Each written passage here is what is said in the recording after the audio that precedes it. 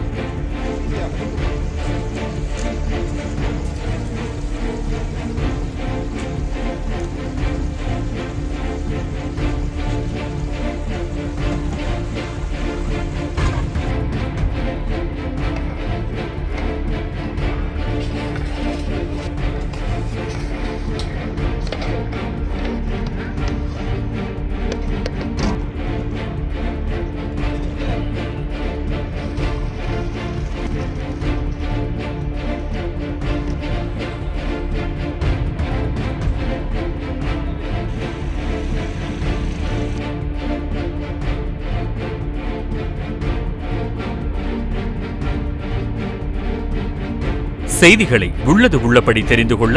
reflect நியூஸை subscribe பண்ணுங்கள்